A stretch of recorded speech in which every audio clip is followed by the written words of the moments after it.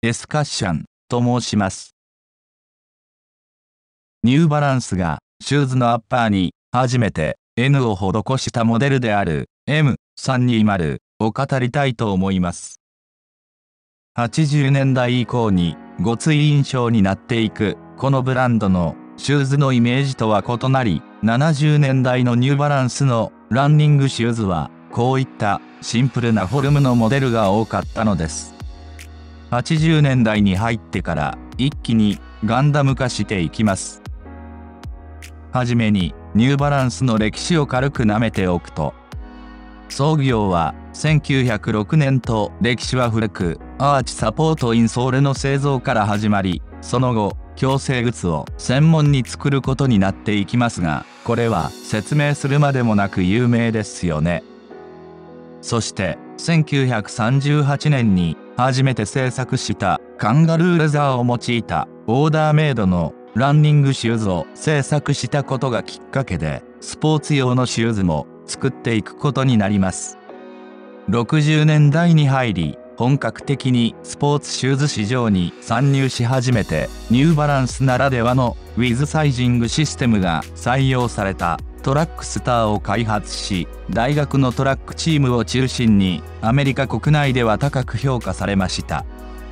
しかしそんな中でも会社の売上的には伸び悩んでいる状況が続いていて1970年代初頭フルタイムの製造スタッフがわずかに6人しかいなかったことはもはや半分ネタのように語られています。そしてリーボックでいうポール・ファイアマン氏のように70年代に入ってからブランドを軌道に乗せた人物がジェームス・デイビス氏です。彼が1972年にニューバランスを買収してからは大改革が行われていき4年後の1976年に M320 が登場します。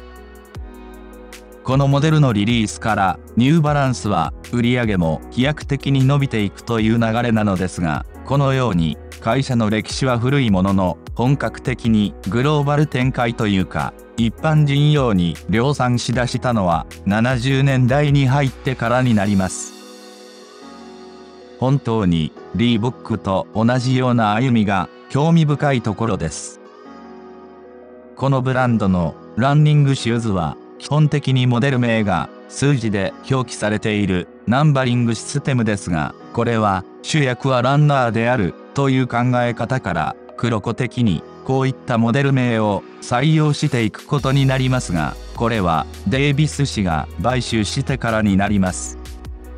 特に2000年代に入ってからはモデル名が数字ではないものが多数出てきましたが20年以上ニューバランスを愛用している男性なんかは購入するモデルは大体いくつかに固定してるという人が多くそういう人らは近年出てきたニューモデルには見向きもしない人がほとんどです。またニューバランスのモデル名には数字の前後にアルファベットがつきますよね。前につくのはシューズのカテゴリーを表していて例えば M はメンズ W はウィメンズ U はユニセックス MR はメンズランニング MT はメンズトレイルなどといったような感じです。後ろにつくアルファベットはカラーリングやアッパーに使用されているメインの素材を表していることが多いのですがコラボモデル表記やバージョン表記などの例外も多く後ろにつく文字は一概には言えず様々です数字に関して説明すると長くなるので省かせてもらいますが下2桁と前の2桁もしくは1桁でも細かくタイプが分かれます下2桁より前の数字は大きい方がテクノロジー面では上位になります。しかし、320で言えば3になり、例えば1300に比べるとだいぶ低い桁数になるわけで、単純に数字が低いから高い方より劣るモデルというわけではありません。確かに、機能面では劣るでしょうし、そこまでの機能が盛り込まれてない分、価格帯も比例して変わってきます。何に関しても共通することですが、ただ金額が高ければ OK ということでもないでしょう。1000番台以降にしか興味のない人や、ニューバランスが持つ特有のごつさが好きな人も多いと思いますが、ブランドとして1300や990並みに外せないモデルが、この320と声を大にして言いたいです。他のメジャースポーツブランドに比べると、ニューバランスの70年代のランニングシューズは復刻されてもコアなファンにしか需要がないイメージはありますが、近年で言うと2016年の誕生40周年の時にリリースされた U320 は女性に人気だった気がします。ロープライスでスマートなフォルムの247なんかも数年前にリリースされてからは女性に人気な気もしますしそういう時代の流れになってきてるんですかね。この70年代にリリースされたモデルというのはデザイン的に見るとニューバランスの独自性が出てくる前なのでナイキなどとも似たような雰囲気になっているのでこういった部分もニューバランスっぽくないという意味では往年のニューバランスファンの中でも好みが分かれることにつながっています。ただブランド問わずですが70年代のモデルを語らずしてランニングシューズは語れません。さて会社がデイビス氏の手に渡った1972年以降が新生ニューバランスということになりますがブランドのシンボルである N をアッパーに最初に施したのはこの320が最初なのです。と言っても320の初期モデルから N が存在したわけではなく登場から約1年後にリニューアルされ N マークが配されることになります。70年代当時はアメリカの一部の人にはこの N の文字が入っていたがために力をつけてきていたナイキブランドと間違われて購入されていたという嘘みたいな話も有名です。ニューバランスはメジャースポーツブランドの中では現在でも唯一アメリカ国内に自社工場が存在してることも有名ですよね。2021年時点でも5つもの工場が稼働しています。そしてイングランドのグリンビーにも工場が1つありここで UK モデルが作られているということですがイングランドの工場は72年に買収された時点ではまだ存在しておらず70年代後半に新しく作られることになります。ちなみに2020年時点でヨーロッパ市場でのニューバランスブランドのシューズの30%近くがグリンビー工場で製造されているという情報もありますがここまで大手の企業にもかかわらず、にわかには信じられない数字ではないでしょうか。ニューバランスにしかできない離れ技でしょう。うん、これはどうなんでしょうね。欧米ではアジアで大量に製造されている廉価版はそれほど需要がないということなのかもしれませんね。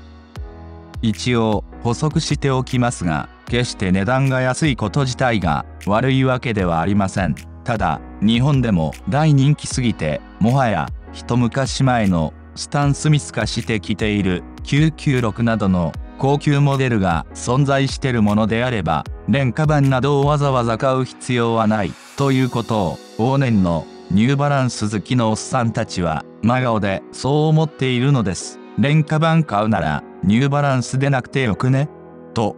1966年から存在する世界的に有名なアメリカのランニング雑誌でランナーズワールドというものがあります。レトロなランニングシューズが好きな人にはおなじみですよね。70年代に北米で沸き起こったランニングジョギングブームの中でプロのランナーからも支持されていて当時は非常に影響力が強かった雑誌で一般の人でもこの雑誌の評価を参考にしてシューズを選んでいたようです。アラフォーのスニーカー好きのおっさんにとってのかつてのバイブル、ブーユンみたいなもんでしょうか。各ブランドのランニングシューズが細かくランク付けで評価されていたのですが、ランク付けといっても、プロのランナーからも指示があっただけあって、コンピューターなどを使ってのアッパーの強度やソールの性能、柔軟性など9つの項目による評価方法でそのシューズを10点満点で詳細に評価されていて、なんとデザイン的な要素は一切考慮に入れないというあくまでランニング目線だけを貫いたストイックなものだったので、その信頼度は絶大なものだったのです。その後、78年か79年か忘れましたが、この辺りからは点数での評価ではなくなり、星5つから星1つまでの星の数での採点方式に変更されました。近年のランナーズワールドは調べていないのでわかりませんが、さすがに星の数で評価したりしていないかと思いますが、私が実際に見たことがある古い年代は80年代前半のものでしたが、英語は読めなくても、星の数で評価されていて、優劣が一目瞭然なので、パラパラとめくるだけでも本当に興味深いものだなと思った反面ここで評価が悪いとメーカーにとってはたまったもんではないということです。売上に直結してきますからね。ある意味恐ろしい媒体です。そしてこのガチで評価されていた雑誌で320は1976年にトレーニング部門で1位を獲得したのです。見ての通り N ロゴがついていない320なので実際には M320 ではなくて320で1位になっています。この前年の75年に開発されたばかりの320を履いたランナーがニューヨークシティマラソンで優勝したこともあってニューバランスのランニングシューズがランナーの中で注目を浴びるようになり76年にこの320が1位を獲得しました1位を獲得したのは76年なので M320 だと勘違いしてる人も多く厳密には N ロゴなしが320 76年に登場した N ロゴありが M320 です。そして78年には女性専用の320である W 320をリリースすることで完全に一般のランナー層を囲い込んでいきます。この77年から79年あたりの時期が北米でのランニングジョギングブームの最盛期だったのでタイミング的に相当売れたことは間違いないのですが冷静に考えるとデイビス氏がニューバランスを買収して初代320の登場までわずか3年だったということを考慮するとすごいですよね。リーボックのアメリカ進出から成功までの速さも同様ですが、いかに70年代から80年代の北米におけるフットウェアブランドの幅の利かせ方が異常だったといったところです。ちなみに N ロゴが施された M320 も79年のランナーズワールドで5つ星いわゆる5スターを獲得していますので少なくても320はリリースから4年以上は継続的に売れ続けたんでしょう。70年代後半は乱州戦国時代の一番激しい時期なことを考えると乱州として相当優秀なモデルだったと言えるのです。このように320がニューバランスブランドの中でもどれほどキーになるモデルなのかが改めて伝わっていれば嬉しいです。また話がそれますが、ここ数年程度でニューバランスを吐き出した若い世代だけに限らず、中年層でもニューバランスのシューズは基本的に番号の桁数が高いもの、とりあえず900番台以上の高級モデルを履いておけば間違いないんだといった安易な考え方をしてる人も少なくありませんもちろん桁数が高くなると機能がモリモリになっていき価格も上がっていくのでその考えは間違いではないのですが非常に危険な認識でもあります値段だけで言うと一番高級なモデルである2040を見て一旦履き心地は置いておいて一体どれだけの人がかっこよいと思えるでしょうかと問いたいのです。この辺の話をしだすと、ニューバランスファンは中途半端なナイキファンなんかより断然うるさいですからね。個人的にはスポーツブランドとしては好きなトップ3にも入らないニューバランスではありますが、この320をはじめ好きなモデルはそれなりにあって、それらには強いこだわりがあります。そんな私の好みとしては1500以上の数字のモデルはメカメカしすぎるもしくは単純にダサいと思うモデルが圧倒的に多いというか1500以上はほぼ全てに対してそう思っています。普段購入ブランドを固定していないようなスニーカー好きの中でもこういったタイプも存在することも事実なのです。ちなみに1500のデザインはポンプ・ヒューリーをデザインしたスティーブン・スミス氏なんですがそんなことはお構いなしでデザインが好みではないとはっきり言っておきます。それに90年代の頃はニューバランスのスニーカーといえば一部からはラギッドすぎて古着好きのおっさんが履くブランドみたいなイメージもあった時代なのでスニーカー好きの中でも全く興味がない層も当時は結構いました。あくまで日本ではと思いますが町履きとしては若い世代の女性からの支持はほぼなかった勢いと言っても過言ではありませんでしたからね。当時と現在ではブランドイメージそのものが大きく変わったと言えますがそれにもかかわらず若い頃からニューバランスを履いてこなかった。アラフォー世代のスニーカーズ機能おっさんの中でも未だに履かない人間も一定数いるのです。おっさんとはいえスニーカー好きというのがポイントなのです。こういう点もニューバランスはメジャースポーツブランドの中では唯一無二で面白いですね。この未だに履かないおっさんにとっては3万円以上するモデルでもデザインがダサいとしか思ってないですからね。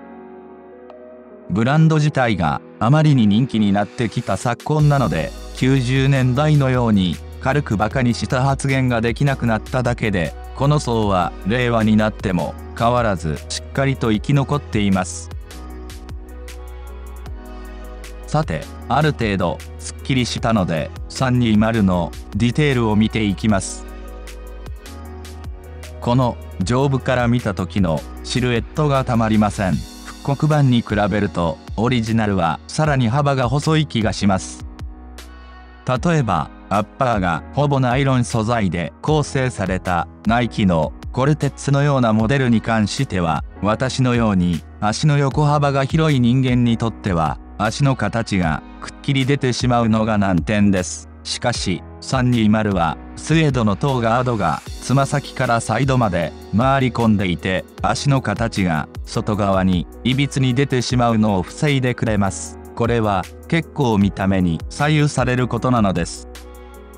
こういった処理がされたモデルは他のブランドでも多く存在しますが見てわかる通りサイドに伸びているパーツ部分の縦幅が高いタイプなところがポイントです。320のシューレースは甲の部分だけで固定するようになっていてよく見ると独特な形をしています。もともとは矯正靴を作っていた会社だけあるので履き心地は間違いないのは当然でしょ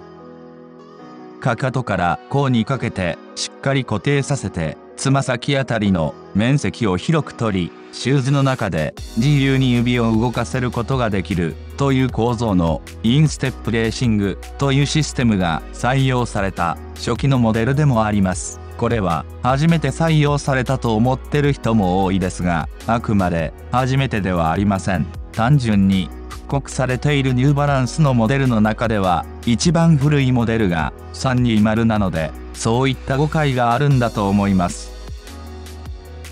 先述した通りアッパーサイドに N が初めて施されたモデルなのですがもともとはアッパーの強度を高めるためのスウェード製のサイドパネルに部分的に穴が開けられていたものでした。これだとどこかのブランドのようにアディダスに訴えられる恐れもありますよね。初登場の翌年リニューアルされた時にそのスウェードのパネル部分を N 型に切り抜くことでナイキの数種のように機能には直接関係のない処理ですがブランドをアピールする飾りとして施されるようになります。320は N のパーツを上から貼り付けるわけではなくて切り抜いて表現しているのでフォルムとしてはさらにスッキリしてると思いますし個人的にはバランスが良いと思うんですけどねこの良さを理解してくれるニューバランス好きが残念ながら周りにはいないのです。ナイキ好きにはいますけども。印象的なトーガード。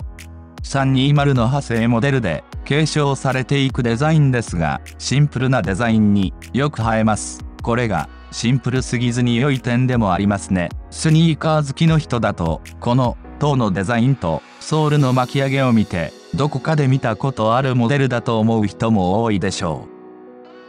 う。大々的に紹介されているので、ご存知の方も多いと思いますが、これらは昨年新しく出てきた327にも用いられているデザインです。登場から1年も経たずして、すでにニューバランスの新しい定番ポジションを築いている大人気すぎる327。このモデルは70年代の名作ランニングシューズである320、355、スーパーコンプの3つのモデルを組み合わせて現代風にアップデートされて完成したものです。なので、一見、ワイドパンツに合うような、今風なスタイルもしますが、見る人が見れば、ゴリゴリの70年っぽさを感じるモデルなのです。327は、アジアでの製造モデルで、ニューバランスとしては、非常に安価ではありますが、インソールは、オーソライト製で、履き心地もまずまずで、なんといっても、その圧倒的なデザイン性で、男女ともに人気につながっていますからね。私も昨年、327を年間で2足買ったほどです。このモデルは UK 企画のチームが制作したようですが、女性デザイナーがメインのデザインを手掛けています。ファッションブランドのカサブランカのランウェイでデビューというイレギュラーな登場ということもあり、リリース前から話題になっていました。これは数年前にナイキのリアクトエレメント87がアンダーカバーのランウェイでデビューし超絶に話題になったのとまさに同じようなノリですね。コレクションファーストというか話を戻します。70年代に各スポーツブランドがリリースしていたランニングシューズはブルックスやナイキに代表されるこういった2層や3層になった EVA ソールのモデルが多く320も例に漏れずという感じですがアウトソールがヒール部分にまで巻き上げられてるのが目立ちますよね。この処理も70年代の乱臭だと割と多く見かけますがそれでもここまでアウトソールが上まで伸びてるものは少なめです。ナイキのマラソンランナーなんかはこの処理に近いですね。ただ製造された年代によって巻き込まれていないタイプも存在します。そこは全部巻き上げてくれって感じですけどね。またフレアソールと呼ばれる台形型になってる形状ですがこれまた70年代だと多くのブランドで見られる形です。アウトソールのパターンはナイキのコルテッツのようなシンプルなヘリンボーンタイプですがガム仕様がメインになっているというのは70年代では珍しい方かと思います。ガム仕様のモデルも存在するとかではなく、あくまでガムソールが通常モデルという意味で。ただ、当時の資料写真では、ガムではなく白色のラバーになったモデルも普通に確認できますけどね。このモデルに関しては、カラーリングは、基本はブルー一択なんですが、320は復刻モデルが出ても無駄にカラー展開されないところも安っぽさが出ずに良い点です。あくまで主観ですが、ブラックだと320の良さが主張できていないという感じがします。特徴的なアッパーのデザインが綺麗に同化してしまって単なる安価なだけのシューズに見えてしまいます。逆に2016年の復刻版で登場した U320 のイエローがとてもいいですね。少しマスタードっぽさもある絶妙な色味で、おっさんが履いても問題ないかと思いたいですね。私は好きなので。90年代の頃は、320の廉価版である321というモデルが存在していて、結構空張り豊富だった記憶です。当時はエントリーモデルや廉価版という介護官的な呼び方もなかったわけではありませんが、ハイコストパフォーマンスモデルなんて言い方をしていました。320は90年以降も復刻が何度かされていますが、これくらいの復刻頻度でちょうどいいですね。ありがたみがあって愛着も増すというものです。変に日本のセレクトショップに別注かけられすぎるのも微妙ですし、おそらく2000年以降に復刻された320は全てアジア製なのですが、アメリカ工場が稼働してるにもかかわらず、20年以上メイドイン USA の M320 がリリースされていないことになります。間違えてたらすみません。ここらで USA メイドの M320 が出てくれると嬉しいんですけどね。ちなみに現在でもメイドイン USA を売りにしているニューバランスでさえも安価なモデルはすでに1990年頃からは中国でも製造開始し始めたのですがその当時はアメリカ国民でさえ全てがメイドイン USA もしくは UK と勘違いしてた人も多かったようです。1990年頃のデイビス氏のコメントとしても有名人にお金を貢ぐくらいだったら我々は国内の工場にお金を落としますと語ってることからもニューバランスは USA メイドを続けているというイメージを誇示し続けたかったのだと思います。他のメジャースポーツブランドから見てもまさかこの2020年代になってもアメリカ工場を維持し続けられると思っていなかったんじゃないでしょうか。念のために補足しておくとメイドイン USA といっても1から10まで全てアメリカで製造してるわけではなく生産ラインの大半がアメリカならメイドイン USA や UK としてるだけであって当然一部のパーツなどはアジアで作られてもいます。ニューバランスの製造といえば日本のムーンスターとも関わりがありますがその話はまた機会があればということで。最後にこの90年代のニューバランスの象徴的な広告はアラフォー世代以上なら覚えている人も多いでしょう。よくファッション系の雑誌の表4に載っていましたよね。